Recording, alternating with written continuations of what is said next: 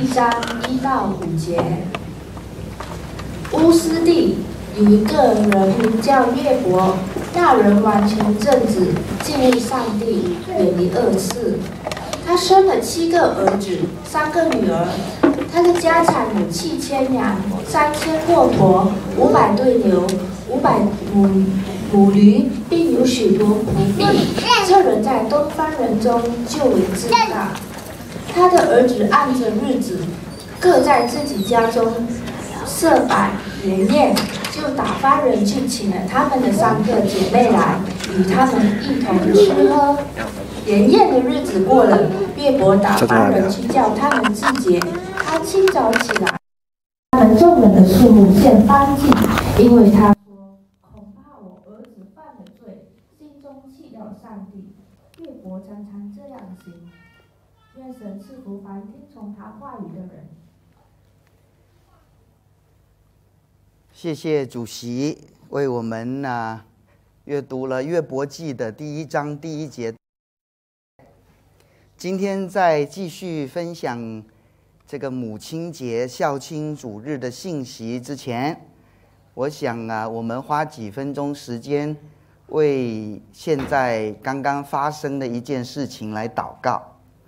消息传来，在印尼的苏拉巴雅泗水这个地方，已经有三个教堂被自杀客。啊，带着炸弹进去炸了三个教堂，那么为这个事情来祷告，因为印尼也要大选了，所以比较动荡不稳定。那很确定已经有几个人死亡，因此我们这个时候一同起立来为这些教会祷告，为当地的局势稳定祷告。啊，为伤亡的人的家庭祷告，求主啊停止这样残暴的事情。我们一起来开声。哦，主啊，主啊，主啊，求你怜悯。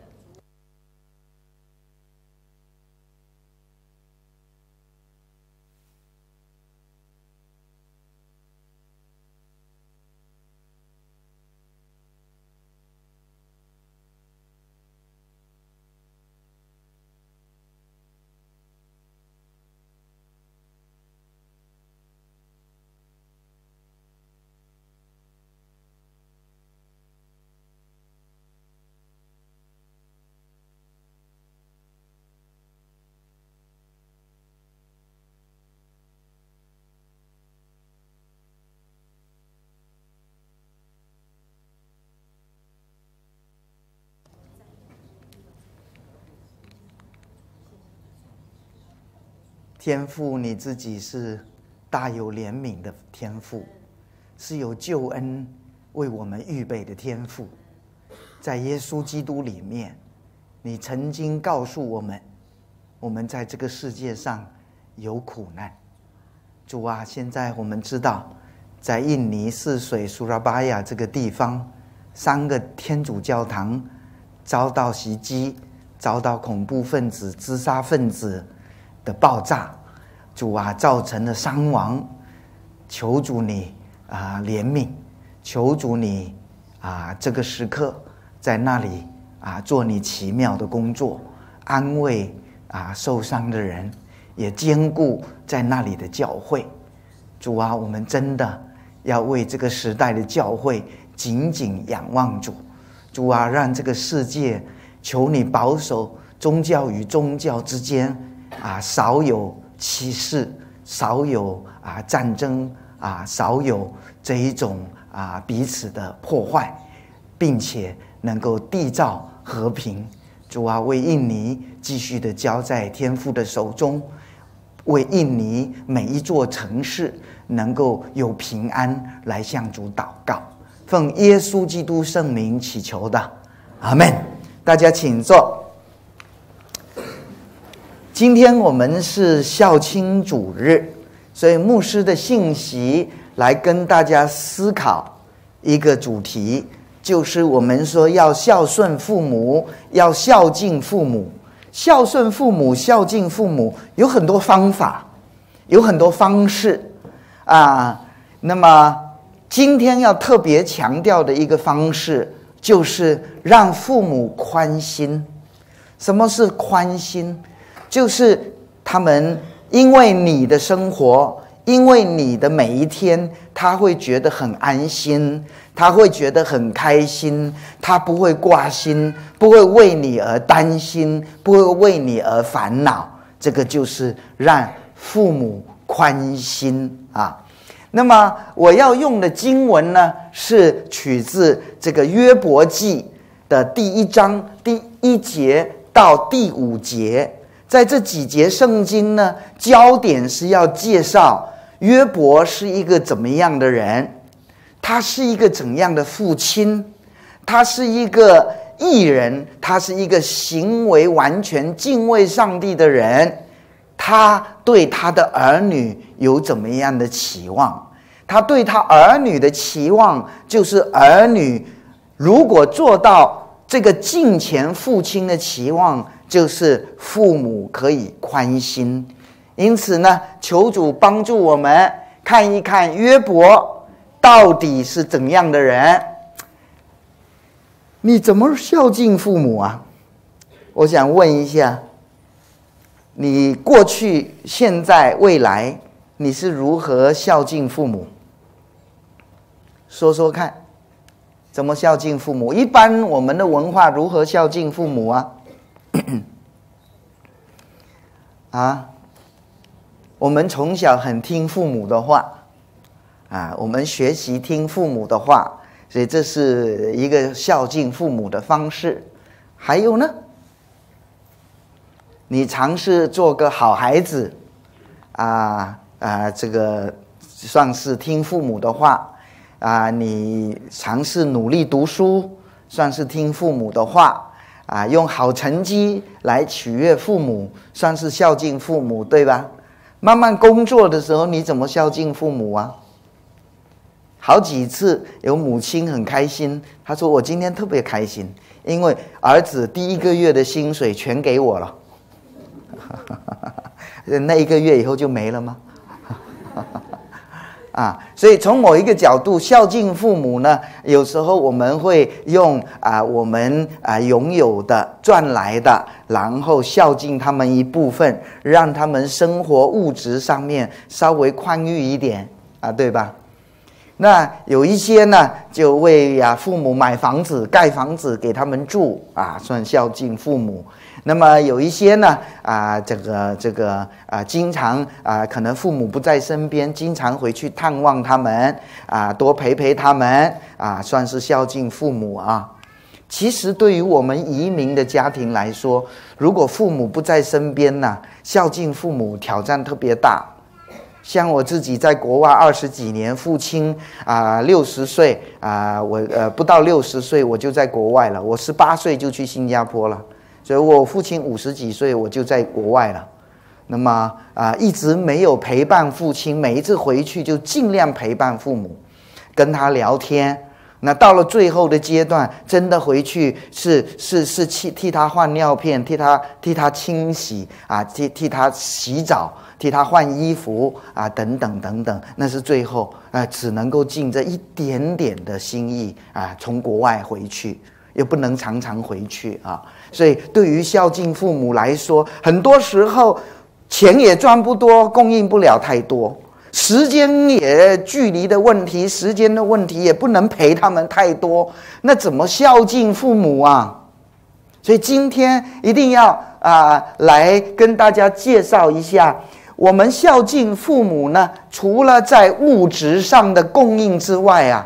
其实有时候我们不在他们身边，但是我们仍然在孝敬父母的。有时候我们物质上不能供应很丰富，但是呢，我们仍然可以孝敬父母的。那就是什么呢？那就是你不在他身边，但是他因为你，他很宽心，他很安心，他没有因为你而烦恼。这是一种孝敬，特别是。不在父母身边的儿女，如果让父母常常为你操心，常常为你烦恼，你的生活的每一个部分，他还要替你想办法，那么我们就让他们辛苦更多，那那就不是最好的孝敬。所以孝敬，我们学习让父母宽心。圣经里面约伯记介绍了一个人物，叫约伯。那么约伯记是什么时候书写成的？约伯是什么年代的人？他跟什么人是同一个时期？我们基本上透过约伯书的内容呢，没有什么可以考察的。不过呢，约伯记，如果我们去读约伯记的内容的时候，我们会发现约伯记的书写方法非常接近。所罗门时代的智慧书的写法，所以呢，大部分的学者认为，约伯记完成的时间应该是在所罗门时代盛行智慧书的写法题材完成的。所以，因此以这个来推理的话，约伯是以色列。大卫、所罗门，大卫建立以色列国嘛？啊，扫罗建立以色列国，然后到大卫，到所罗门，这三任的王总共一百二十年，而应该约伯是在呃这个以色列立国的这一百年的时间里面完成的。圣经让我们看见约伯是一个敬虔信仰上帝的人。他的生命是遵行神话语的，因此他的家庭教育也是遵照上帝的话来教导他的儿女。然后他期望他的儿女能够符合神圣经话语的教导来过生活，来成长。因此，让约伯能够宽心的儿女。就是听从他的教导，遵行神的话语来生活的这些儿女。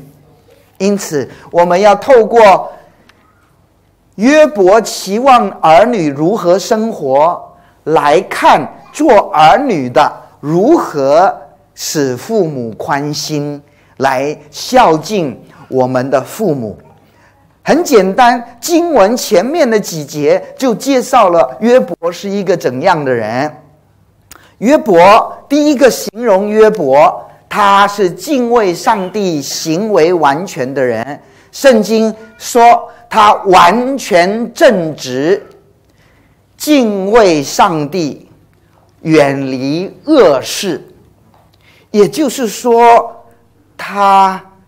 的生活、道德、行为、言语，按照对上帝的敬虔跟信心，按照对上帝话语的认识来遵行，使他又有虔诚的信仰，又有端庄被人称赞的好行为跟生命的品格，所以他是一个。非常非常敬虔的人，不是说他不会犯错，而是他非常敬虔、敬畏上帝去过生活。那这是第一。第二呢？从简单的描述，约伯有十个孩子，三个女儿，七个儿子，也说明说他在家庭方面呢，应该是。幸福的妻子在他的内室，好像多结果子的树，啊，橄榄的摘子，一颗又一颗，一颗又一颗，一颗又一颗，总共有十颗橄榄摘子在家里要培育起来。这是诗篇所说的幸福的家庭，很难想象啊，七个儿子。三个女儿，所以他拥有幸福家庭。再来，他拥有非常丰盛的财富，圣经形容啊，它是乌斯地在当时啊以色列的东部乌斯地，那么东边，那他的财富有多少呢？有七千羊。啊，恐怕恐怕现在在 Perth 啊养羊的有七千羊的也不多吧？啊，不多。还有三千骆驼，骆驼是养来做什么？骆驼奶可以喝之外，拿来做什么？啊，载货、经商，哈，所以农作物运送在当年啊非常重要。所以他家又是什么？又是养羊的，出羊毛，出这个羊肉，还有出什么羊奶？然后呢，还有运输，应该是五谷都有啊。然后五百对牛，为什么对呢？为什么一对一对牛呢？很可能是因为最容易计算，犁田的时候是一对一对牛拉的，所以五百对牛，意思是这个工作量哈，这个牛的工作量很大。再来五百母驴，驴奶是好东西。啊，驴奶是好东西，所以啊，可能去新疆啊一些地方有驴的地方啊，有喝驴奶，并且还有许多的仆人、婢女、仆婢，那么这些就说明他是一个非常富有的人。那形容这个人在东方里面就为至大，就是乌斯地在以色列百姓东边。这个那一区那一个时代里面，东方人中间也可以。东方人原来原文也是古代，原来在那个时代啊，这一个人呐非常富有。如果翻成古代呢，就是所罗门时期成书，但是技术更早之前的一个敬畏上帝的人的一个富有的状态。那家庭幸福，财富很多。其实这个时代很多人是这样啊，财富越来越多，那家庭也蛮幸福的。可是，一个财富多又能够维持家庭幸福，又能够维持虔诚的信仰的人，就不容易了。很多人钱在贫穷的时候很虔诚，富有的时候就不虔诚了。很多人贫穷的时候很像样，富有的时候就不像样的时候，没钱的时候学不了坏，有钱的时候很容易学坏。不单如此，约伯还有一个特点，是什么特点呢？约伯还是一个极力教导儿女像样的一个人，他尽他所能的在信仰里面教导他的儿女，要他的儿女活得像样。意思是说，当时在社会当中，就好像今天这个时代，有很多不像样的生活习惯。不像样的孩子，胡搞的人们，所以约伯很谨慎。圣经怎么说？他们的儿子啊，按着日子各自在自己家里摆设筵席，就打发人去请了他们三个姐妹来，一同吃喝。原来这十个兄弟姐妹啊，按着日子常常在那里。开 party，欢喜快乐的吃吃喝喝啊！你知道约伯怎么样啊？他们吃喝完毕，第二天呢，约伯就会去叫他们怎么样？你们昨晚上有没有太过分呐？啊，有没有呃这个醉醺醺的？甚至有解经家认为，在那个年代乱伦是常有的现象，没有所谓乱伦的。为什么邀请三个姐妹来？有的解经家更露骨的这样说：如果是在一个没有家庭伦理原则的时代里面，只有信上帝的人有家庭伦理的话，那么这几个这一家人呢，那个吃吃喝喝醉酒啊，什么事情都干得出来呀。啊所以呢，约伯尽所能的教导他们，要每一次过了这样的活动之后，都要自洁，然后要认罪。约伯还替他们献祭，啊，约伯还替他们献祭，求上帝赦免。恐怕他们的孩子犯罪，忘了上帝，把上帝给丢弃了。约伯常常。这样行，所以这一段经文，首先，不管是年轻准备要做父母的，或是将来结婚要做父母的，或是现在已经是父母的，你知道吗？留给儿女最宝贵的，不是你留给他五十万、一百万，留给儿女最重要的是他像样不像样。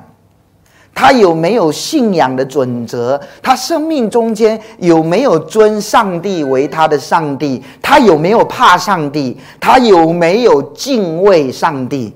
他有没有把上帝的话作为他生命的指南？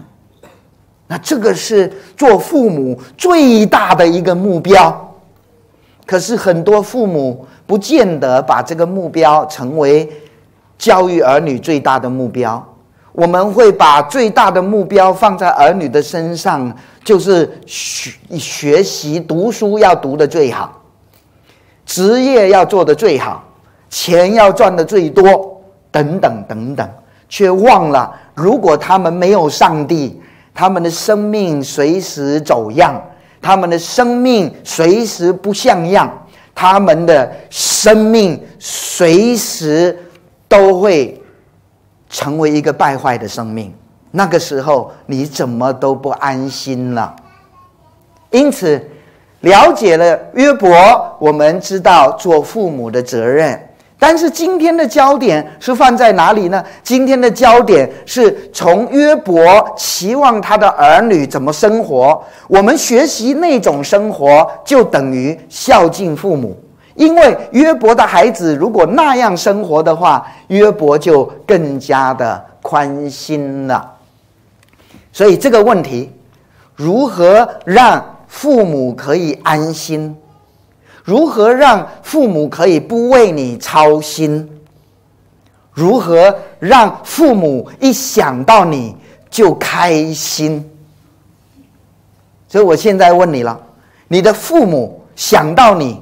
不管是过去，也许有一些父母不在了，啊，父母想起你的时候，他是开心还是操心？他是啊为你而欢喜，还是为你而忧愁？如果我们活了一辈子，父母都还为我们忧愁，活到三十五岁，父母还为我们忧愁；活到四十五岁，父母都已经老了，还在为我们忧愁。想到我们还不快乐，那么我们就一辈子活了五十岁，都还没有让父母宽心。我父亲已经在病床，已经靠着呼吸机器替他帮助他啊，因为缺氧，他还摇着头跟我说。你的那个哥哥啊，我最放心不下。他身体最不好，他现在生意最难做，怎么办呢？怎么办呢？他还在操心。我跟他说：“你不用操心。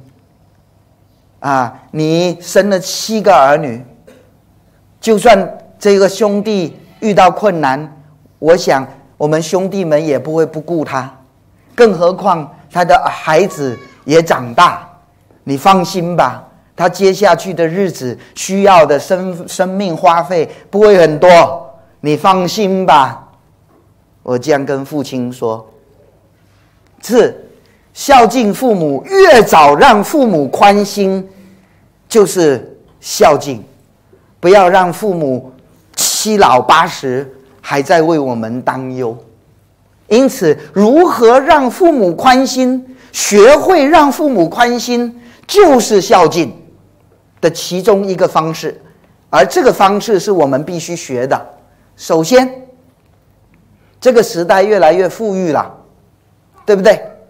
特别是国内很盛行啊，富二代、富二代啊，啊都不知道钱从哪里来，以为本来就是应该有钱的，从来没有想过穷日子是怎么活的。约伯的七十个孩子也是这样，因为什么都有啊，因此呢。让父母宽心是什么？在富有中不挥霍浪费。挥霍是什么？喜欢什么就买什么，要买要用什么就用什么，多贵都要。那这个叫做挥霍。所以在挥霍里面很容易就不节俭，就会浪费。所以让父母宽心的第一件事情就是富有当中。不要过一个挥霍浪费的生命，就是你的生活花花费要节俭。父亲看见这个孩子，哇，不乱花钱，他心会不会比较安心啊？他会不会比较宽心啊？家里有钱，父亲再有钱，你一天到晚都在花钱，钱永远不够。那这样不是孝敬父母的一个方式。圣经怎么说呢？约伯的孩子们呐，七个嘛，按着日子，各在自己家里设摆筵宴。什么叫做按着日子啊？按着日子呢，就是指这七兄弟呀，轮流安排在不同天。今天是你负责，明天是你负责，后天是你负责，大后天是你负责。七兄弟按着不同天来分配谁来办 party，所以七个兄弟排下去几天啊？七天，一个礼拜几天啊？所以很容易就每一天都是 party，啊，需要吗？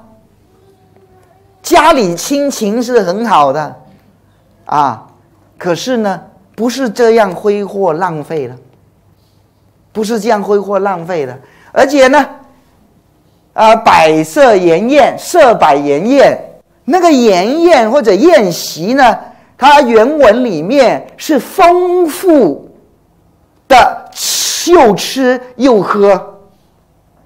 所以设摆筵宴，他不是说，哎，你今天过来，我们吃个简单的便家庭家庭呃便饭，啊，不要说小便饭啊，那多大的饭是什么饭？大便饭啊！啊，回到家里来，不是说小小，这里所说的设摆筵宴，是花功夫去预备很丰富的喝的，喝不完的。那按照圣经的文化呢，当然是什么？当然是酒喽。那么吃的，那更不用说了，家庭牛羊那么多，所以是不敢说大鱼了哈，有没有鱼不知道，但是大肉是肯定有的。所以吃吃喝喝，这个宴乐的聚会。啊，就是生活很放松，生活很无忧无虑，生活呢不用太多节俭，生活太丰富了，所以欢乐吧，庆祝吧。今天很多人的生命是这样，啊，因此第一个孝敬父母，让父母宽心的是生活花费略微有计划。有约束，不乱浪费。其实，因为你是这样的人，父母就更开心一点，啊，父母就更这个呃，父母就更开心、更安心一点。第二，人怎么样让上啊这个父母更宽心呢？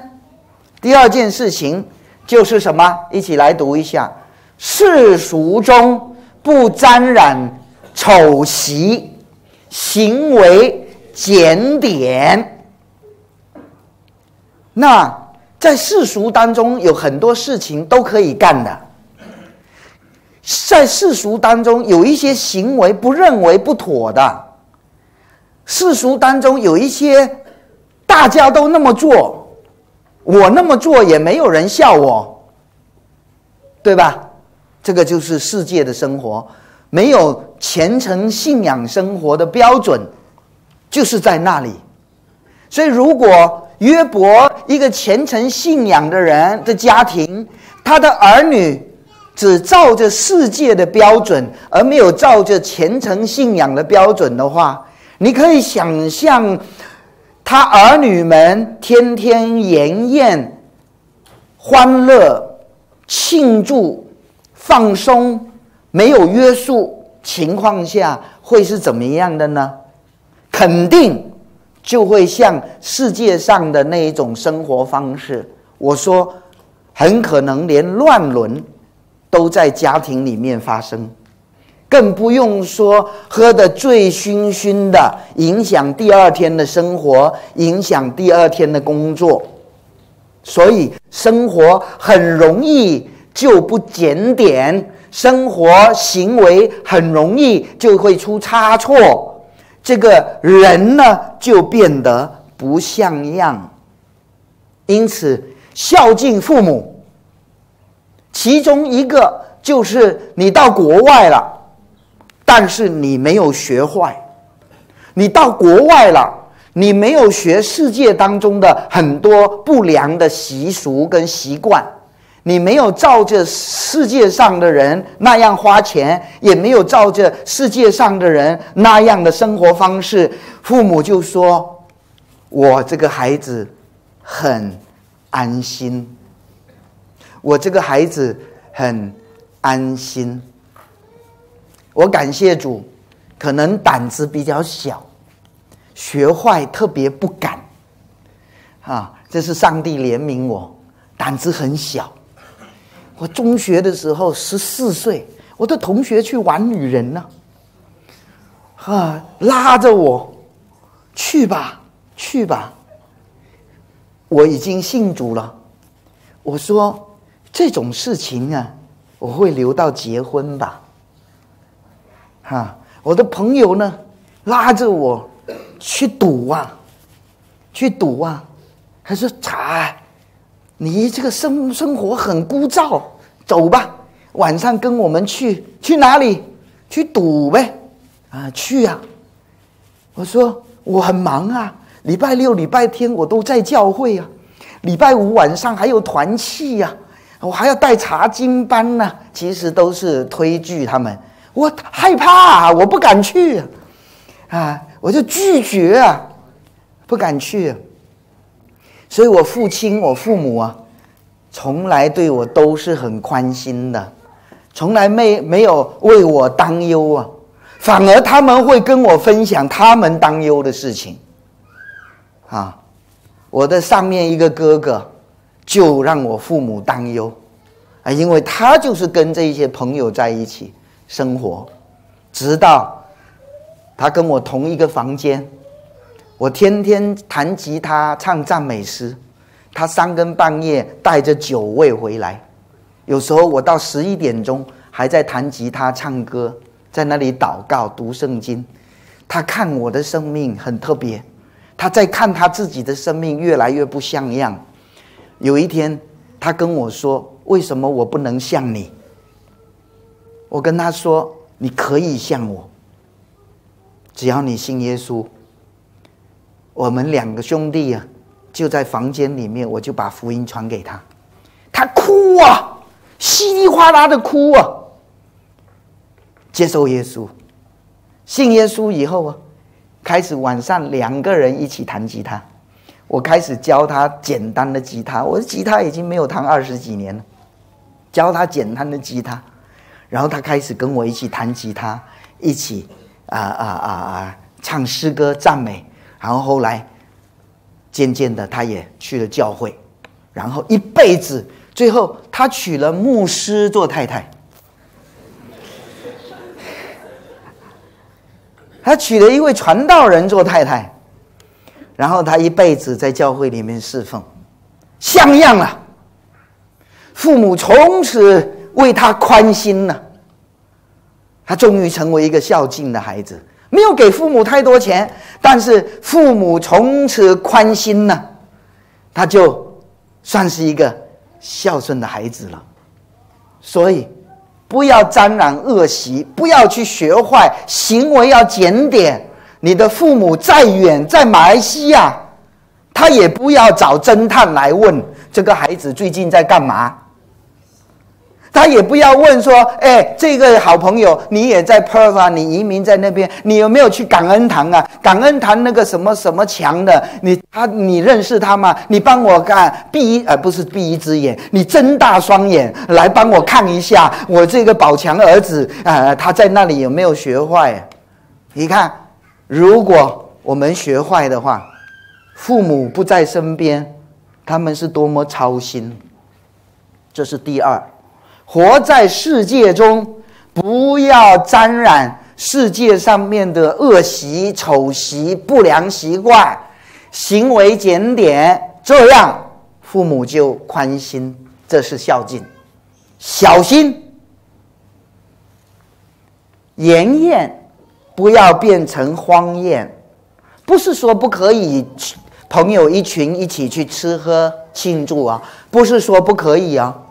但是不要变成荒宴哦，荒宴是什么？失控的。性在荒宴里面是开放的，啊，美国最流行，现在世界最流行这一种什么 club 什么 club 去 party，然后在里面胡搞，啊，言宴不要变成荒宴，小心一同吃喝不要变成乱伦关系。世界上没有约束。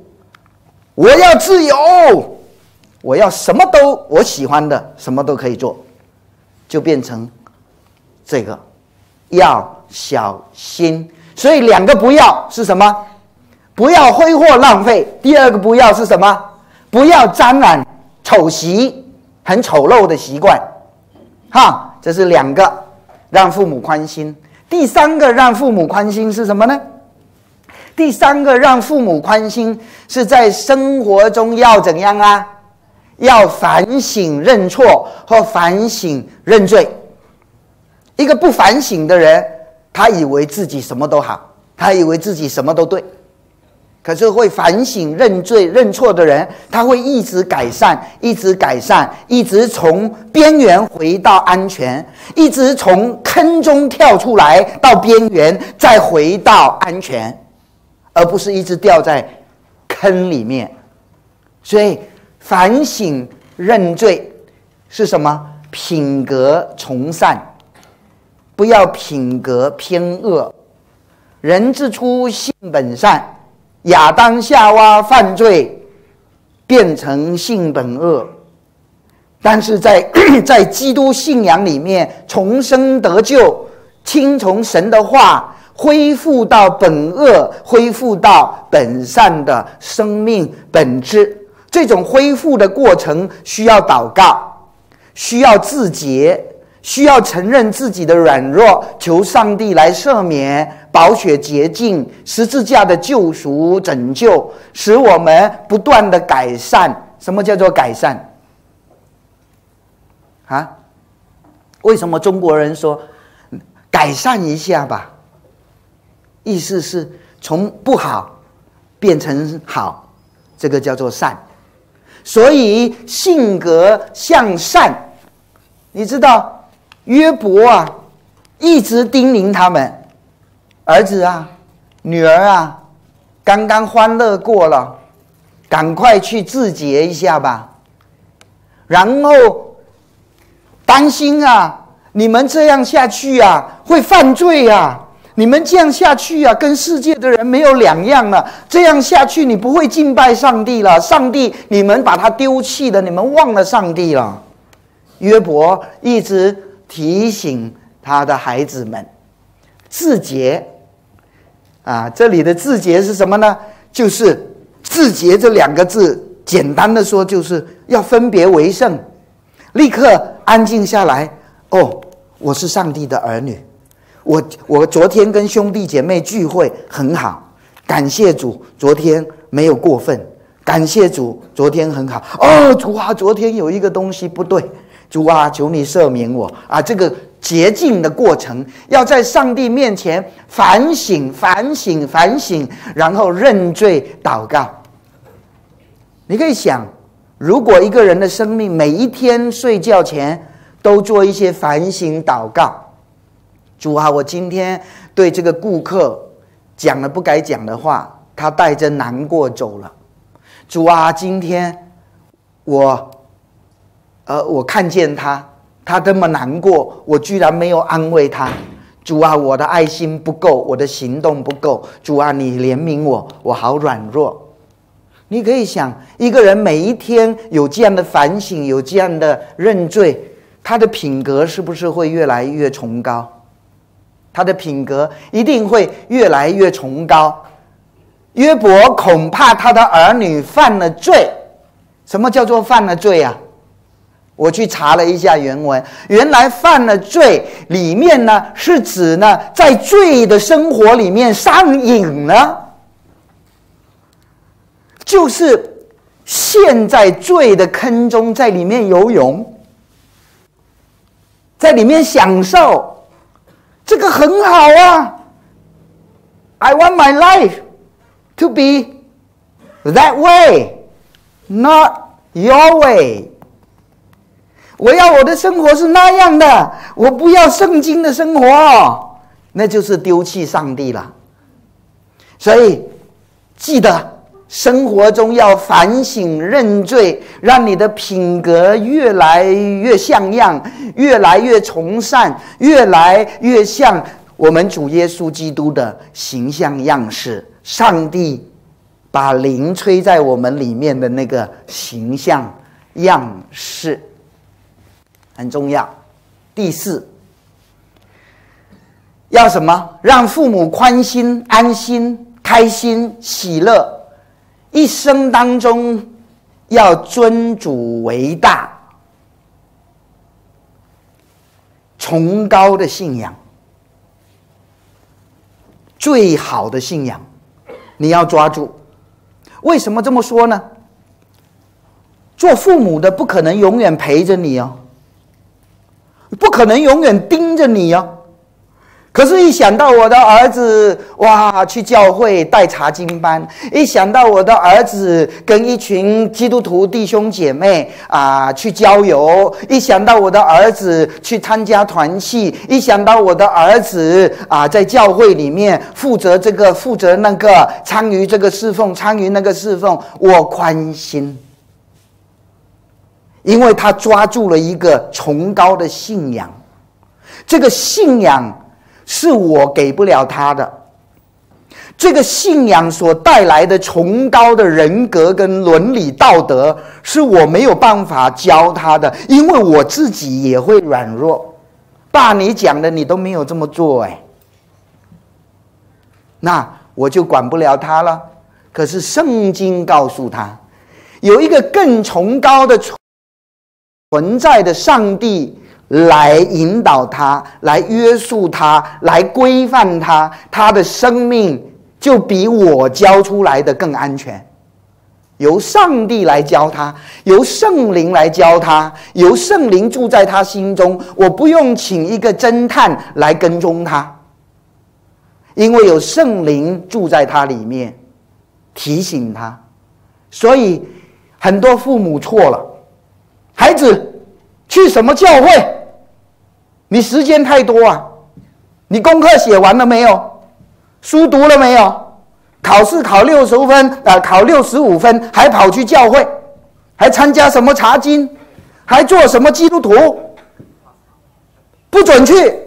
我告诉你，你把孩子推到世界去，考试考第一名怎样？很多诈骗集团都是第一名呢。啊？你不知道啊？数学最好的，你知道做什么吗？设一个什么什么什么企业，投资多少金进来，回收五十百分之五十，他计算好了以后，只要三年，我宣布倒闭，我拥有多少卷了走，都是数学一流的人。你不知道，很多父母孩子不要去教会，能给你什么？还要奉献几块钱，钱太多啊，时间太多啊。却不知道，你规范不了他，从此没有人可以规范你，你的儿子，没有人可以规范你的女儿，除非他找到崇高的信仰，除非他生命认罪，知道自己有软弱，需要耶稣来拯救他，除非他的生命有一个反省系统，否则的话，他泡在世界里，只有越来越世俗化。更不用谈什么圣洁生活，他永远不会让你宽心。如果他没有信耶稣，如果他信耶稣以后，他就会让你宽心更多。因此，崇高的信仰，恐怕你如果没有信上帝，父亲会更不宽心。这个见证我一定要讲。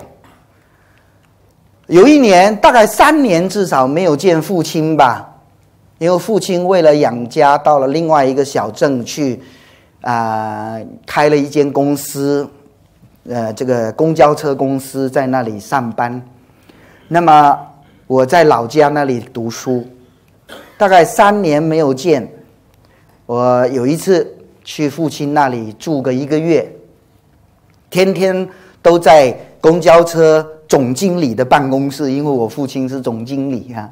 小小的小镇，整个公司几辆的公交车呢？三辆，因为只有三条路线，一条走出去一趟回来，然后下一趟又出去，只有三辆巴士啊。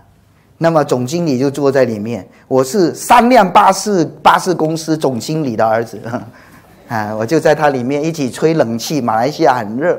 天天陪他聊天，天天陪他聊天。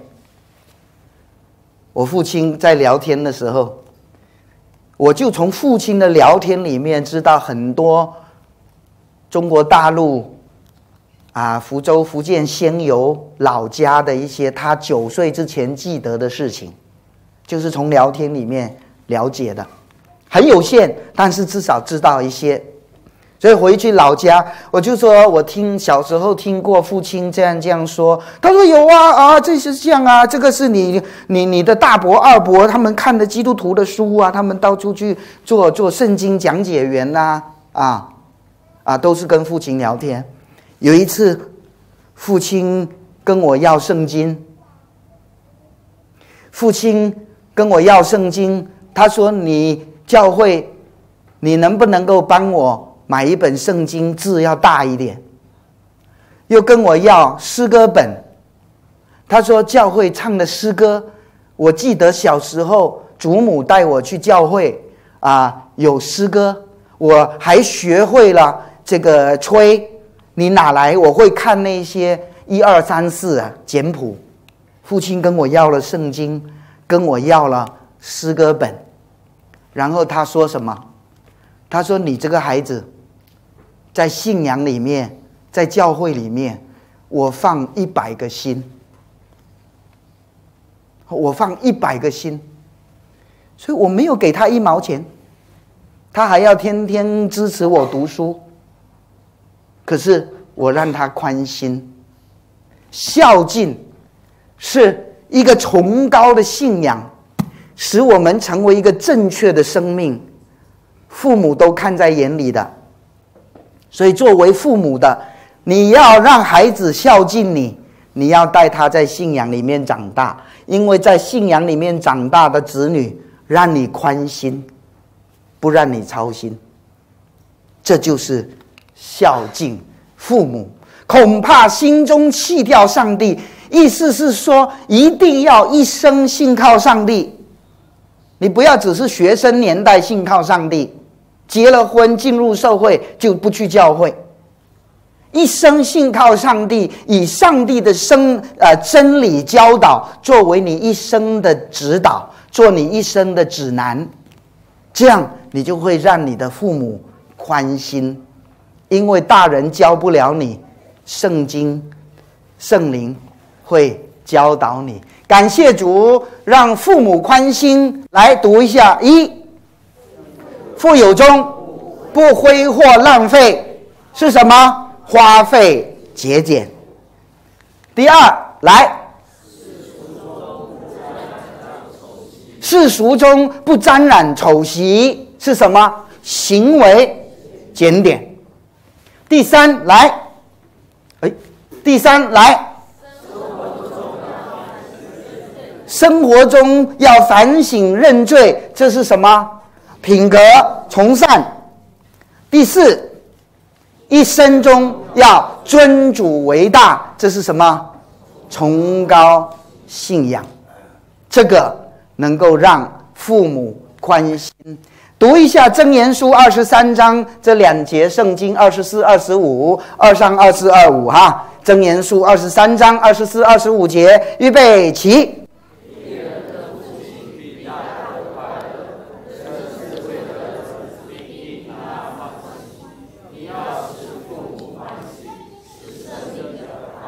什么人是艺人呢？听从圣经话语，按照圣经指导生活的人是艺人。父母会怎样？